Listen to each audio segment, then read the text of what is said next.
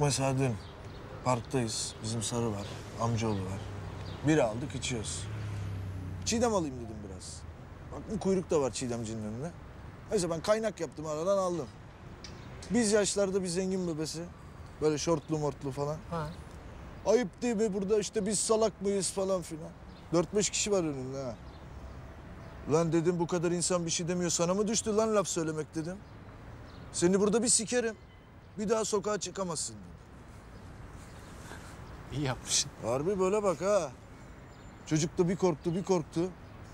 Aksi gibi o sıra polis geldi. Ne oluyor lan burada falan dedi. Dedim amirim dedim bir şey olmuyor. Çocuğun attım böyle omzuna elimi.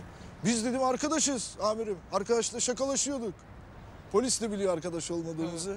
Ama ne yapacak? Ne diyecek? Amme düzenini bozmaktan rapor mu tutacak? Yani Hiç. He. Çocuk da bir korktu. Sıkıyorum böyle çocuğun buralarını falan gık demiyor ha. Polis tamam lan uğraştırmayın bizi bu sıcakta dedi. Böyle baktım. Ne diyeyim? Piçlik diyeyim. Sulu sulu öptüm çocuğu yanaklarından. İbninin hoşuna gitmiştir. Bilmiyorum artık.